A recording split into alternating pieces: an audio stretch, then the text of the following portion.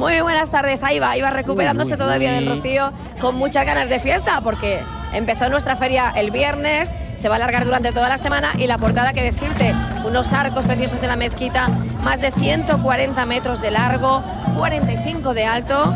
Aquí no falta casi nadie, aunque el lunes siempre suele ser un día un poco tranquilito.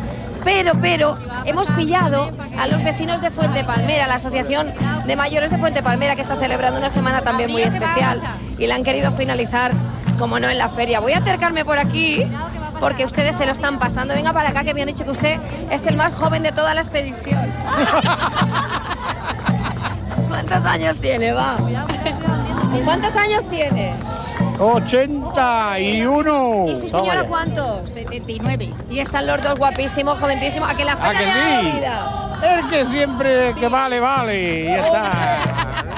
No han parado de comer, no han parado de bailar.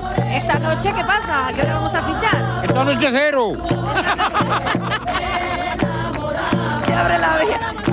Esta noche, Esta noche le duele la cabeza. esta noche no, porque aquí va a seguir la marcha durante muchos días. Con novedades importantes. Este año se puede aparcar el coche muy cerquita de donde nos encontramos.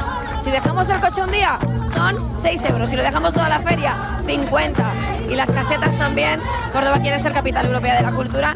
Y hemos encontrado un rasgo muy distintivo en muchas casetas, pintadas en blanco y en azul, añil. Y yo tenía por aquí una mujer el coro de la alegría de la viñuela nos acompaña también ba- bajo los arcos de la mezquita. Vamos a escucharnos un poquito si te parece, Modesto.